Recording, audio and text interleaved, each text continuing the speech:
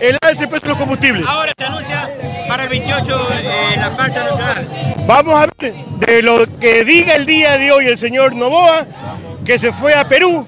Ojalá no le pase ese dicho famoso que dice que el que se fue de Quito perdió el banquito.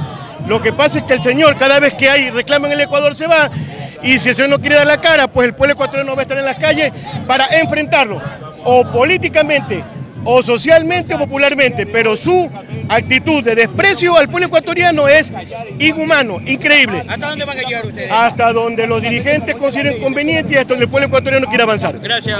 buenas tardes. Para Gular TV se inicia estas marchas pacíficamente para protestar sobre el tema de la Pacíficamente, firmemente, democráticamente, pero con la plena intención de que el llamado es uno solo. Unidad del pueblo, unir a los trabajadores, unidad de las izquierdas para derrotar el proyecto neoliberal, el gasolinazo, pero también pedirle al gobierno.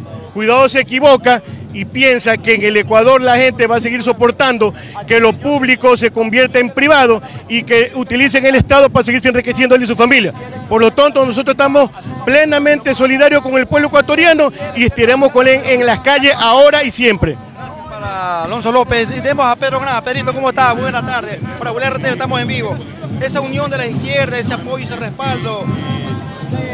Siempre, siempre es posible la unidad de las izquierdas. Es un proceso complicado, difícil, pero hoy estamos aquí invitados por el Frente Unitario de Trabajadores para, para estar en su marcha, solamente eso. Hoy se inicia esta gran marcha, a partir de hoy arranca. Eso tienen que decirlo los dirigentes del Frente Unitario de Trabajadores. Estas son las expresiones Perona. Vamos a ver aquí a Jorge Escala, candidato a la presidencia de la República por Unión Popular. Grandes empresas petroleras, mineras, que mientras a nosotros nos cobran hasta 9, 10 y 12 centavos el kilovatio hora, las petroleras mineras tienen beneficio de 5 centavos el kilovatio hora, más eh, combustible, gasolina, diésel subsidiado. Si eso se termina, como en efecto lo vamos a terminar en mi gobierno patriótico y popular, eso significa que vamos a recaudar más de mil millones de dólares y no será necesario de someterse al Fondo Monetario Internacional que aplica medidas injustas que someta al pueblo la angustia, la desesperanza, a la pobreza porque ya no hay sueldo que alcance. En la línea de cumplir a rajatabla los acuerdos del Fondo Monetario Internacional se anuncian ya más despidos de lo que ya existe. 117 trabajadores son despedidos de manera permanente en nuestro país se sigue recortando el presupuesto para salud y educación. Eso tiene que terminar. Y la unidad del pueblo tiene que llevarnos a conquistar el gobierno, derrotando a los verdugos y enemigos de la inmensa mayoría ecuatoriana. Vamos a derrotar a Novoa en las calles, en la plaza del país y en las urnas en el 2025. Arrancó hace pocos minutos la marcha pacífica en contra del gobierno nacional. A ver si eso nos, apunta adelante. Hay una bandera grande ya de Ecuador. Y hoy fue Ecuador también, pues. Hoy a las 20 horas juega Ecuador-Argentina, pero ya ha adelantado la hinchada, ya vemos bandera, vemos la bandera grande de Ecuador. En la parte de acá adelante vemos el compañero Hilario de RTS que estamos en vivo. Nosotros continuamos. Vea, Alison, vemos la bandera de Ecuador. Ya estamos acá en estos momentos. Vemos a, al partido de Alfaro Vive Carajo.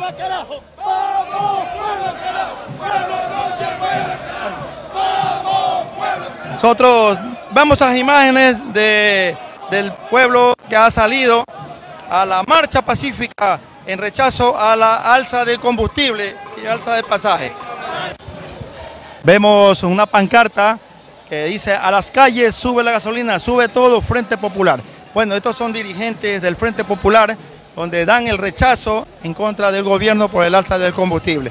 Nosotros continuamos, continuamos, esta marcha arrancó hace pocos minutos, eh, vemos gran cantidad de gente y también veo un eh, grupo de señores policías eh, custodiando a la marcha para que no haya desmanes. Al momento se mantiene esta marcha pacífica sin ningún problema alguno. Nosotros vemos a los medios de comunicación, estamos trabajando tranquilos, no hay ninguna clase de problema ni nada. Vemos a la Policía Nacional eh, custodiando para que no haya ningún malestar, ningún problema.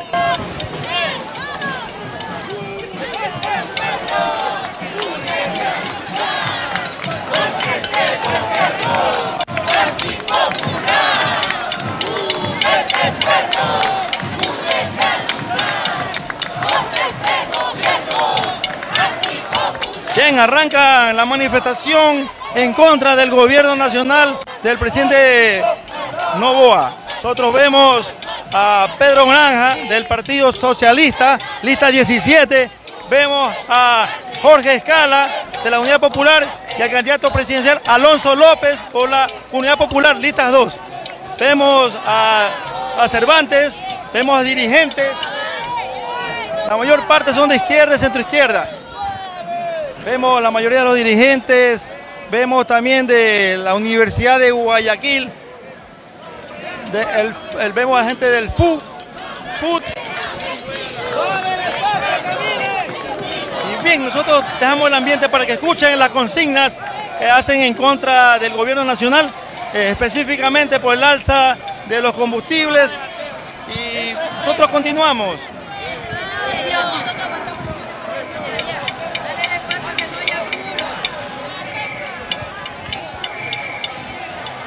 A ver, escuchemos, escu- escuchemos aquí a la señora. A ver, señora, usted salió a esta manifestación a manifestarse sobre, sobre su... Con la, ¿qué alza de la, contesta? ga- con la alza de la gasolina, con el, el 15% del IVA que nos, que nos subió el pobre perro de Novoa. Eso, por eso estamos aquí. ¿Usted coge el bono? ¿Ah? No, yo no cojo bono. Bien, muchas gracias, muy amable. Nosotros continuamos, pagamos las imágenes, vemos a los dirigentes en estos momentos en la marcha pacífica por la avenida 9 de octubre. Este es el manifiesto que arranca a partir de hoy, 4 de julio, aquí en la ciudad de Guayaquil. Hoy en la mañana estuvimos también en una marcha de, gos- de la Unión de Campesinos del Guayas, también de de la Unión Popular también estuvieron en la mañana. Nosotros continuamos, vemos estas imágenes. No hay, no no, hay papa, no hay papa, dice. no hay comida, el alto costo de la vida está perjudicando a cada uno de los ecuatorianos. El, el el- el- aumento del combustible es muy perjudicial para el país. Cuando se, hay mucha fuga de, de- de combustible, que vaya a los, a, a los lugares estratégicos, la frontera, para que tengan el control. Todo esto está afectando el, alza del IVA, el alza de los combustibles, muy pronto decretado el alza de los pasajes.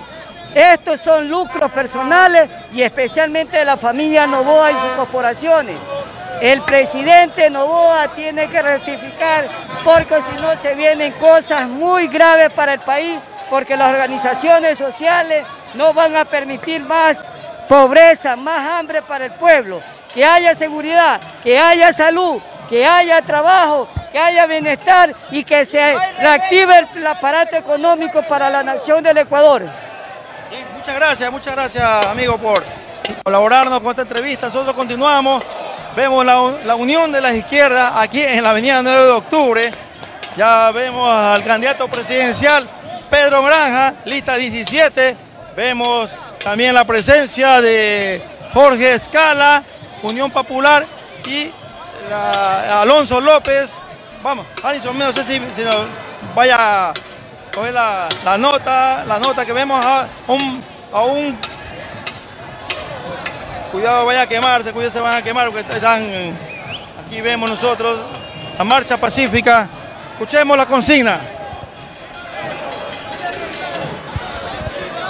protesta que se cumple o se cumplieron en dos días termina de manera exitosa con 23 provincias en donde los campesinos, los indígenas, los obreros, la juventud, los trabajadores, las amas de casa, todo un pueblo inconforme le dice a Novoa que derogue el incremento del precio de los combustibles, de mantenerse de manera soberbia, tosuda, arrogante en estas medidas que golpean la economía de los pobres, de seguro que se van a desarrollar de aquí en adelante asambleas populares para planificar nuevas y más altas jornadas de movilización. Pero lo importante de estas movilizaciones es que está logrando forjar la unidad de la clase obrera, de los trabajadores, de los pobres del Ecuador, que in- inco- incorpora también al movimiento y comunidades de los pueblos indígenas. Por eso le llamamos de manera fraterna a Leonidas Isa a que se incorpore a esta invitación con el propósito de constituir el gran frente social y político que incluya a las organizaciones sociales y populares que están en las plazas y calles del Ecuador, forjando esta unidad de los de abajo, pero para derrotar a Novoa en su política antipopular pero sobre todo para derrotarlo en el 2025. Es la hora de los de abajo, es la hora de unir al pueblo para hacer gobierno, es la hora de la unidad de las izquierdas. Por eso, la izquierda unida junto con organizaciones sociales y populares. Expresiones de Jorge Escala, candidato a la presidencia de la República. Buenas tardes, amiga. ¿Cómo ha sido usted esta marcha eh, Yo soy representante de Daule. Vengo también a luchar aquí a esta marcha por la, la alza de la gasolina que nos afecta mucho, en especial a los chicos estudiantes que salen a estudiar día a día y tienen que subirse al, auto, al carro para para viajar y, cada día sube más el precio, nos sube a nosotros las amas de casa los víveres y todo, la, la economía más cara. Gracias, gracias, muy amable. Nosotros continuamos, vamos a ver el frente, vamos al frente donde están los, los candidatos, candidatos a la, presidencia de la República, Jorge Escala, vemos a Pedro Granja, Juan Cervantes que se encuentra acá en estos momentos. Nosotros estamos en vivo en directo para Hueler TV. Escuchemos el ambiental.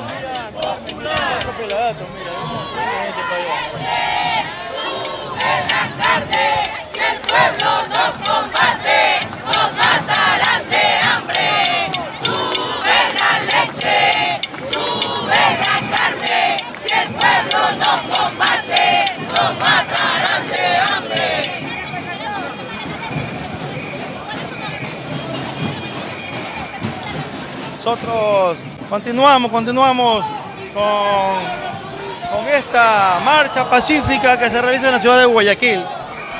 Nosotros seguimos avanzando, ya hemos pasado por la 9 de octubre y Chimborazo. Eh, pocos minutos estaremos ya llegando a la Plaza San Francisco. Esta marcha continúa pacíficamente por la ciudad de Guayaquil, donde vemos gran cantidad de gente que ha salido, que ha salido a rechazar esta alza de la gasolina. Nosotros estamos, estamos acá dándole a conocer todos los acontecimientos que se realizan en este momento aquí en esta marcha pacífica de la unidad de las izquierdas. Bien amigos, continuamos, continuamos con la marcha aquí pacífica, aquí en la avenida de octubre. Tenemos a Freddy Magallanes, eh, dirigente del campesino, tengo entendido. Sí, ¿cómo está amigo? Buenas. Esta marcha que se realiza aquí en la ciudad de Guayaquil pacíficamente en contra del gobierno. En contra del gobierno totalmente, que se deroguen los, subsidios al combustible, es una burla totalmente de la condonación de la deuda de los compañeros agricultores con el Ban Ecuador, eso es una burla totalmente. Entonces hoy día está el pueblo manifestándose para que se derogue y tenga la, potestad de decir todas las cláusulas que el FMI el Fondo Monetario Internacional le, opone este, este gobierno, los 43 artículos que son eh, el, caos para nuestros compañeros del Ecuador acá. Por eso estamos marchando. E, e, esa unidad que vemos ahorita de izquierda y centro izquierda es una unión, una unidad que hace un, hace un solo bloque, parece que vemos. Ahorita estamos por, un sola, por una sola causa, la derogación de los subsidios para los combustibles y que se, que se lo haga automáticamente o se vaya a su casa el presidente Novoa. Todos los que pensamos con la izquierda, todos los que tenemos el cerebro hacia la izquierda, hacia el pueblo, hacia la base social. Caso contrario, este país se cae, se cae en pedazos. La derecha ya está demostrado. Tres gobiernos juntos no han podido hacer una sola obra. Bien, gracias Freddy Magallanes, agradecemos por tu opinión, muy amable. Nosotros continuamos, vamos, vamos a continuar esta marcha pacífica que se realiza hoy en la avenida 9 de octubre.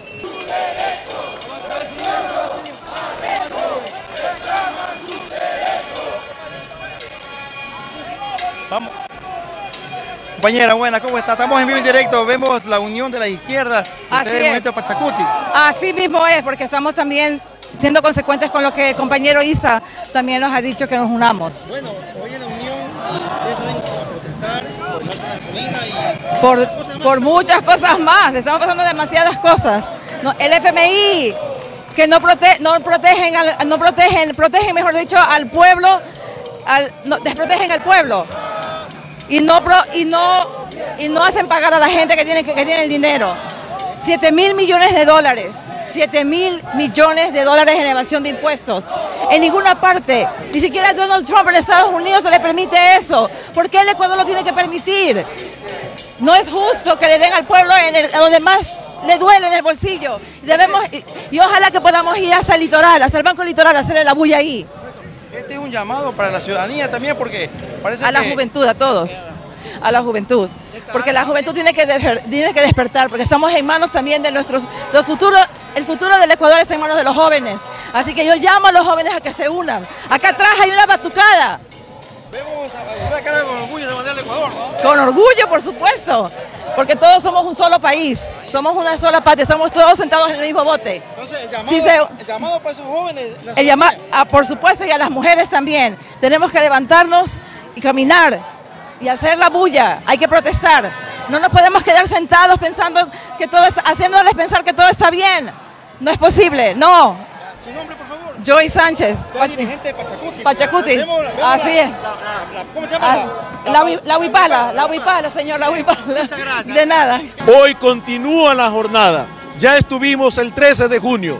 El día martes estuvimos en diferentes lugares de la ciudad de Guayaquil y también hoy en todo el país hay estas expresiones que van a continuar rechazando la política y forjando la unidad por un gobierno de los trabajadores. Juan Bagaña, representante del Partido Comunista Marxista Leninista del Ecuador en el Guayas. Hemos llegado hasta 9 de octubre y Malecón. Escuchemos.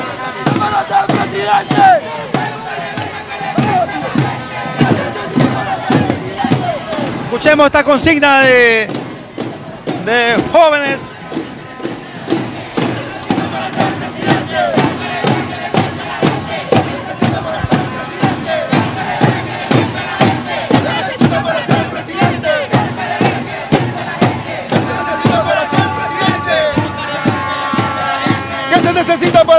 Presidente?